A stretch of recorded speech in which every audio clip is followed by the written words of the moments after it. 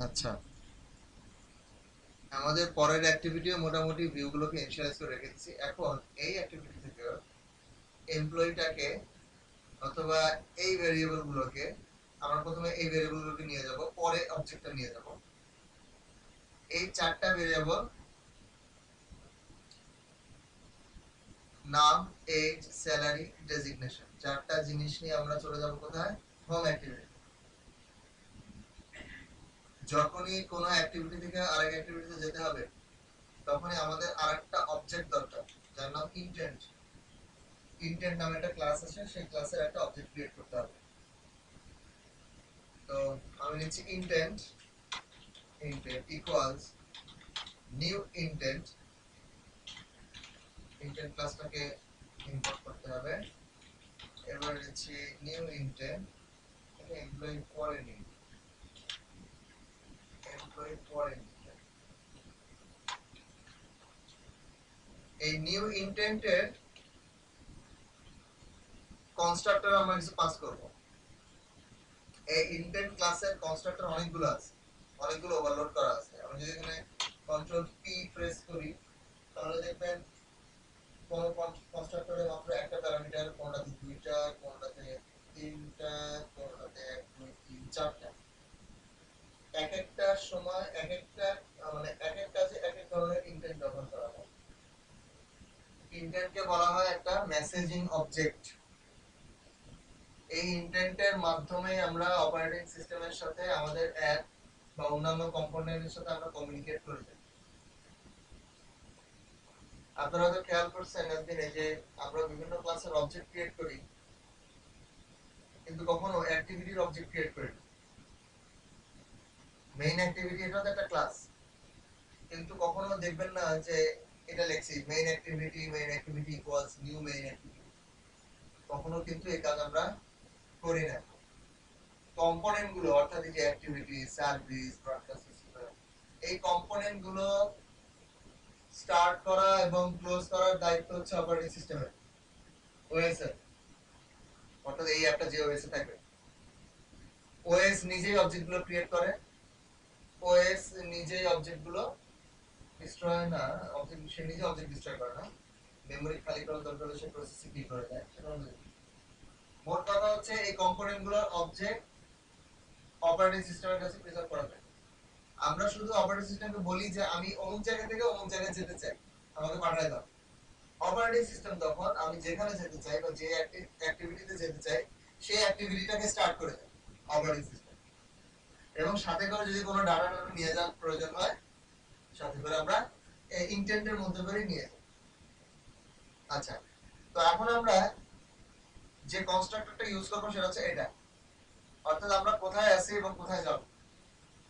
তো প্রথম প্যারামিটারটা দিতে হবে একটা কনটেক্সট গত ক্লাসে আমরা কনটেক্সট নিয়ে একটু আলোচনা করছিলাম। কনটেক্সট কি? বা এটা বলছিলাম যে আমাদের যদি কখনো কনটেক্সটের প্রয়োজন হয়, আমরা কি পাস করব? মনে নাই। আমরা অ্যাক্টিভিটি পাস করব। অর্থাৎ আমি দিব দিস দিলেও হবে, কারণ আমরা মেইন অ্যাক্টিভিটি স্কোপের মধ্যে আছি।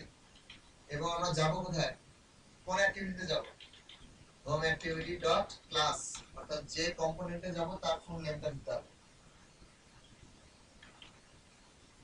এই লাইনটার পরে যদি আমি একটা মেথড কল করি স্টার অ্যাক্টিভিটি এবং প্যারামিটার হিসেবে এই ইন্টেন্টটাকে পাস করে দিই তাহলে দেখবেন অ্যাক্টিভিটি স্টার্ট হয়ে গেছে। হ্যাঁ যে অ্যাক্টিভিটি অর্থাৎ যে অ্যাক্টিভিটি যাবে, সেই অ্যাক্টিভিটির নামটাই দিবেন লাস্টে ডট ক্লাস এই অবস্থায় কিন্তু এখন দেখবেন যে বাটন ক্লিক করার পর এই কাজগুলো হবে প্লাস অ্যাক্টিভিটি স্টার্ট হয়ে যাবে বাট ডাটাগুলো তো নিতে হবে। অ্যাক্টিভিটি স্টার্ট যাচ্ছি আমি আমি যদি রান দেয় এখন তাহলে দেখ রান দিলে অর্থাৎ এই ইন্টেন্টের প্যারামিটার এগুলো কিন্তু আবার আপনারা টাইপ করতে চান না, যে প্যাকেজ কনটেক্সট এটা কিন্তু সাজেশন হিন্ট অনেকে আবার এটাও টাইপ করা শুরু করে। আপনারা শুধু দিবেন দিস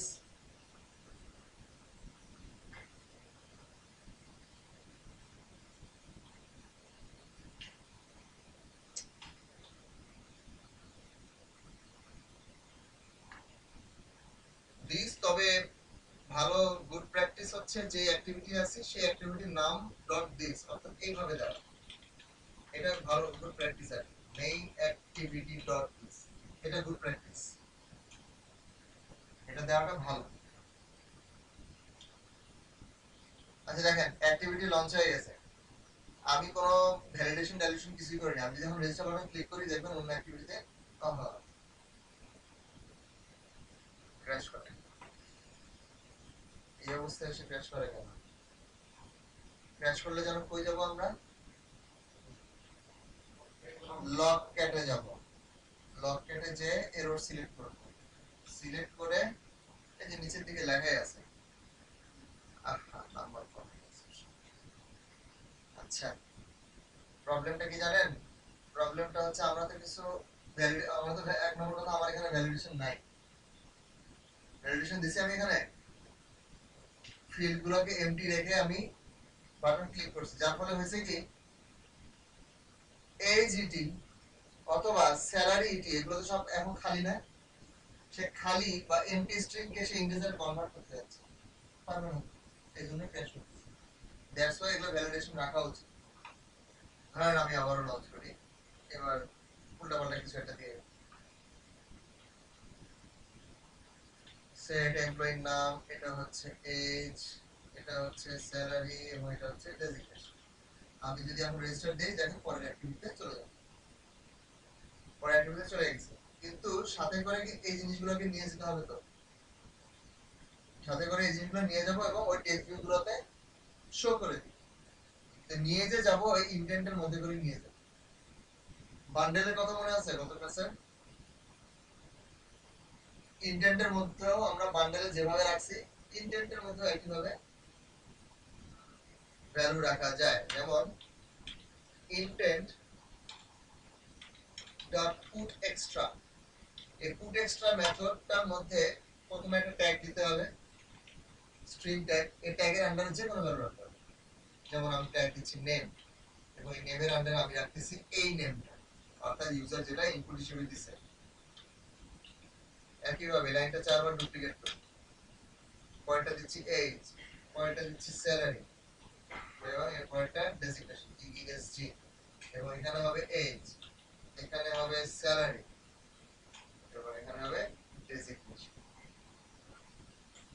অর্থাৎ এই যে ইন্টেন্টটা ইন্টেন্টের অবজেক্ট ক্রিয়েট করলাম, এই ইন্টেন্টের অবজেক্টের মধ্যে এখন আমরা এই ভ্যারিয়েবল বা ভ্যালুগুলো রেখে দিচ্ছি। একটা বান্ডেলের মতো প্যাকেটের মতো। পুট এক্সট্রা মানে এক্সট্রা ইনফরমেশন পুট করতেছি এই অবজেক্টটার সাথে। এখন যদি ইন্টেন্টটা পাস করি স্টার্ট অ্যাক্টিভিটি স্টার্ট অ্যাক্টিভিটি মেথডটা কল করলাম স্টার্ট অ্যাক্টিভিটি হচ্ছে আপনার কোন অ্যাক্টিভিটি ক্লাসের একটা মেথড অর্থাৎ প্যারেন্ট ক্লাসের মেথড প্যারামিটার হিসেবে ইন্টেন্টটা দিয়ে দিচ্ছি। অপারেটিং সিস্টেমের কাছে ইন্টেন্টটা চলে যাবে। অপারেটিং সিস্টেম ইন্টেন্টটা খুলে দেখবে। খুলে দেখবে যে এই তারা এই এখানে যেতে যাচ্ছে। এবং সাথে করে এই ভ্যালুগুলো নিয়ে যেতে যাচ্ছে। তখন অপারেটিং সিস্টেম এই অ্যাক্টিভিটিটা যদি আসলে থাকে এক্সিস্ট করে, তাহলে অ্যাক্টিভিটিটা লঞ্চ করে দিবে। এই ভ্যালুগুলো পাঠিয়ে দিবে। কিন্তু কার মাধ্যমে পাঠিয়ে দিবে? আর একটা ইন্টেন্টের মাধ্যমে। আর একটা ইন্টেন্টের মাধ্যমে। অর্থাৎ আমরা একটা অ্যাক্টিভিটিতে আছি মেইন অ্যাক্টিভিটি আমরা যাব আরেকটা অ্যাক্টিভিটিতে প্রত্যেকটা অ্যাক্টিভিটি লঞ্চ হওয়ার পিছনে একটা ইন্টেন্ট থাকে। এই যে আমরা প্রত্যেকবার মেইন অ্যাক্টিভিটিটা লঞ্চ করতেছি এটা কোনো না কোনো ইন্টেন্টের মাধ্যমে স্টার্ট হচ্ছে প্রত্যেকটা অ্যাক্টিভিটি কোনো না কোনো ইন্টেন্টের মাধ্যমে স্টার্ট হয়। আমরা যদি গেট ইন্টেন্ট নামে একটা মেথড আছে কল করি, তাহলে সেই ইন্টেন্টটা পেয়ে যাবে। অর্থাৎ যে ইন্টেন্টটা এই অ্যাক্টিভিটিটাকে স্টার্ট করছে। এখানে আমার এটা প্রয়োজন নাই, আমার এখন গেট ইন্টেন্ট প্রয়োজন হবে হোম অ্যাক্টিভিটি হোম অ্যাক্টিভিটিতে এসে যে কোনো একটা নেন, একই কথা। হ্যাঁ প্রথমে স্ট্রিং নাম এটা হচ্ছে ট্যাগ এটা গত ক্লাসে সময় আমরা বলছিলাম যে যে কোনো ভ্যালু রাখার সময় একটা ট্যাগের আন্ডার রাখা। এটা অনেকটা ভ্যারিয়েবল অর্থাৎ এমপ্লয়ের নামটা আমি কোন ট্যাগের আন্ডার রাখছি? এটা নাম, এটা যা ইচ্ছা তাই দিতে পারবেন স্ট্রিং এটা হচ্ছে ভ্যারিয়েবল ট্যাগ সব নিবে, দেখেন এস তো ইন্টিজার নিছে না? এটা তো ডাবল নিছে না? এটা স্ট্রিং সবই নিছে, আপনি যা রাখবেন তাই নিবেন। পুট এক্সট্রা এখানে কিন্তু বলা হয় না যে put int extra put string extra এটা বলা হয় না। পুট এক্সট্রা অর্থাৎ যা ইচ্ছা আপনি রাখেন, কোনো সমস্যা নাই।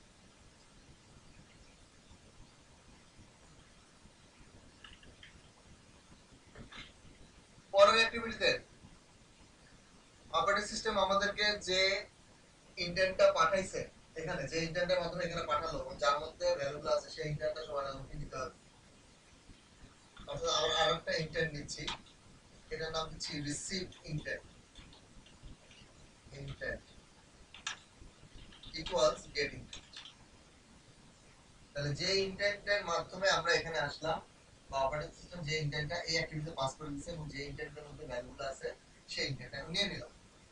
এখন আমি নামধামগুলো বের করে নিই প্রত্যেকটা। String name equals receive intent রাখার সময় ছিল পুট এক্সট্রা নেওয়ার সময় গেট এক্সট্রা দিলে হবে না টাইপ অনুযায়ী দিতে হবে। এইবার টাইপ অনুযায়ী দিতে হবে। স্ট্রিং হলে গেট স্ট্রিং এক্সট্রা এবং যে ট্যাগটা দিবেন হুবহু ওই ট্যাগটাই দিতে হবে। এখানে নামটা কোন ট্যাগের মাধ্যমে পাঠিয়েছেন? নেম সো ওখানে নেমই দিতে হবে। উল্টাপাল্টা বলে কিন্তু এটা নাল থেকে যাবে। এরপর হচ্ছে integer int age equals receive intent dot, এবার কি হবে? Get? এটা ইন্টিজার তাহলে হবে int extra int extra একটু ডিফারেন্ট এখানে ট্যাগটা দিতে হবে এবং একটা ডিফল্ট ভ্যালু দিতে হবে। অর্থাৎ কোনো কারণে কোনো কারণে যদি ভ্যালুটা না আসে তাহলে ডিফল্ট ভ্যালু কি? স্ট্রিং এর ক্ষেত্রে নাম নেয় কিন্তু ইন্টিজার ডাবল এসবের ক্ষেত্রে ডিফল্ট ভ্যালু বলে দিতে হবে। এরপরটা হচ্ছে ডাবল স্যালারি double extra আহ, ওটা কি ছিল? স্যালারি আর ডাবল ভ্যালু জিরো লাস্টে হচ্ছে ডেসিগনেশন এটা যদি স্ট্রিং সো সম্ভবত আমরা দিছিলাম এটাই ছিল তো এই অ্যাক্টিভিটি থেকে জিনিসপত্রগুলো পেয়ে গেলাম এখন এগুলো পেয়ে গেছি এবার এগুলো এই এগুলোকে সেট করে দিই অর্থাৎ name TV dot set text সেটা হবে name htv dot set text string dot value of age string dot value of কেন করলাম কারণ এটা হচ্ছে ইন্টিজার ভ্যালু টেক্সট ভিউতে সরাসরি ইন্টিজার ভ্যালু রাখা যায় না। তাই স্ট্রিং এ কনভার্ট করতে হবে, তারপর রাখতে হবে। একইভাবে salary TV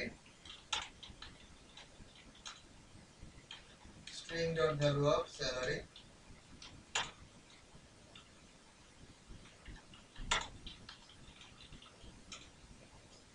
এটাতে string ই আছে, so আমি একটা আবারও রান দিচ্ছি। আমার তেমন কিছুই করে নাই। ওখান থেকে ভ্যালুগুলো নিয়ে এসে এখানে রিসিভ করলাম। রিসিভ করার পরে টেক্সট গুলোতে শো করে দিলাম। ভ্যালিড নাম দেই যে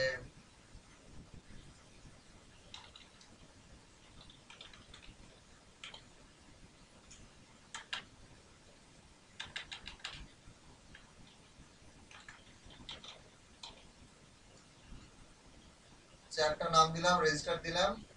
দেখেন চলে আসছে না? দেখাচ্ছে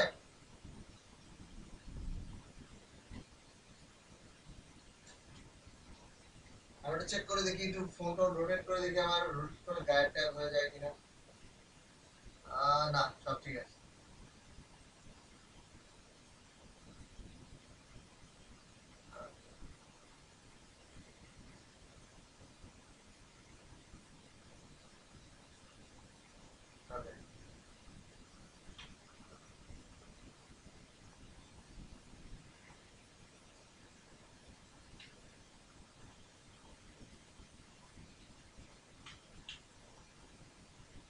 এই ধরনের কাজ করলে না ভুল হওয়ার একটা চান্স থাকে এবং ক্র্যাশ করারও চান্স থাকে। সাপোজ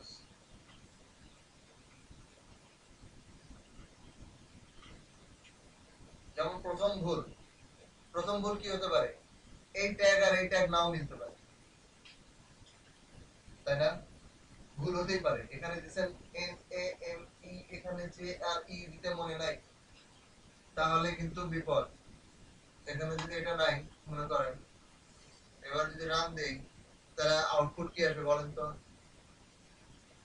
কি আসা উচিত? এটা দিলাম।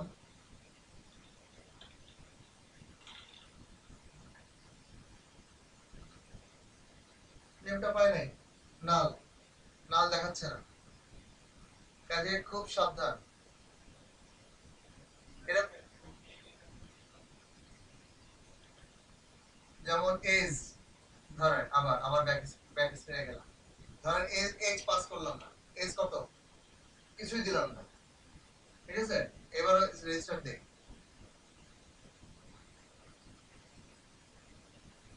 কেন ক্র্যাশ করছে বলেন তো? কোন আন্দাজ? ওই যে প্রথমটা ওটা তো আমরা ভ্যালিডেশন করি নাই তো। এই যে সেই is- এ- এ- এটাতে এমটি এমটিটাকে ইন্টিজারে কনভার্ট করার চেষ্টা করতেছে পাবে না তো কিছু বরং এটা না করে আমরা এটা করি বরং সাপোজ এই এজ বানানটাই ভুল করি। ধরো দুইটা ই দিয়ে দিলাম। এবার একটু রান দেই। তাহলে কি এজ পাবে? এজ ভ্যালুটা আসবে? আসবে না। তখন ডিফল্ট ভ্যালু কি দেখাবে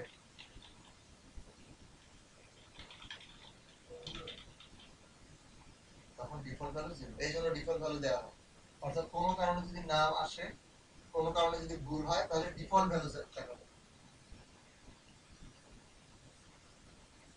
আর এগুলো ভুল হতেই পারে। বড় প্রজেক্ট করতে গেলে মাথা টাথা ঠিক থাকে না, এগুলো ভুল হতেই পারে। দ্যাটস ওয়াই এগুলোকে কনস্ট্যান্ট হিসেবে ডিক্লেয়ার করে রাখা ভালো। যে কোনো টিউটোরিয়াল বা যে কোনো বড় বড় প্রজেক্টগুলো যদি সোর্স কোড দেখেন যেমন প্রচুর কনস্ট্যান্ট ডিক্লেয়ার করে রাখে। কীভাবে কনস্ট্যান্ট ডিক্লেয়ার করে হবে যেন ভুল না হয়, এগুলোকেই আমরা হয় মেইন অ্যাক্টিভিটি বা হোম অ্যাক্টিভিটি যে কোনো একটা ক্লাসই হোক, আমরা স্ট্যাটিক ফাইনাল হিসেবে ডিক্লেয়ার করে রাখতে পারি set public static final string একটা হবে নেম ইকুয়ালস দেন এখন যে কিছু।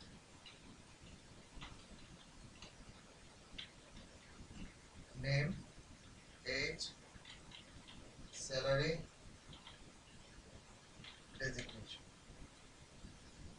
কনস্ট্যান্ট হিসাবে ডিক্লেয়ার করে রাখব। এবার যখন পাঠাবো, তখন আর এগুলো হার্ড কোডের স্ট্রিং ইউজ করব না। কি ইউজ করব? ওই কনস্ট্যান্টগুলো ইউজ করব। কিন্তু ওগুলো ডিক্লেয়ার করছি কোন ক্লাসে হোম অ্যাক্টিভিটি কিন্তু পাবলিক আবার স্ট্যাটিক কাজে আমি এখান থেকে ইজিলি অ্যাক্সেস করতে পারব। হোম অ্যাক্টিভিটি ডট নেম এটা কি হবে? হোম অ্যাক্টিভিটি ডট পেজ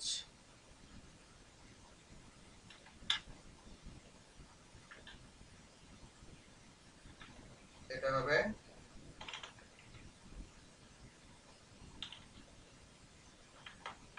এবং সেম জিনিসটা এখানে ক্লাসের মধ্যেই আছে সো হোম অ্যাক্টিভিটি ডট দেওয়ার দরকার শুধু বসাই দিলেই হয়ে যাবে। এখন আর কিন্তু ভুল হবে না। যখন আমরা ভেরিয়েবল ধরে ধরে কাজ করি, তখন আর ভুল হওয়ার কোনো চান্স নাই। তাহলে সামান্য একটা ছোট্ট একটা ভুল, এটা আপনার দেখবেন যে ডেভেলপমেন্ট টাইম এরকম যদি ভুল করতেই থাকেন, একটা করে এরর আসতেই থাকে ডিভার করতেই থাকেন আর ভুল বের করতে থাকেন দেখবেন ডেভেলপমেন্ট টাইম বেড়ে প্রজেক্ট সাবমিট করতে হবে, আর মাত্র দুই ঘণ্টা সময়। আর এরকম ভুল হচ্ছে। এরকম হয়ে বোঝা গেছে? অর্থাৎ আমরা যখনই ইন্টেন্ট জিনিসটা বুঝতে হবে, যখনই আমরা নতুন কোনো কম্পোনেন্ট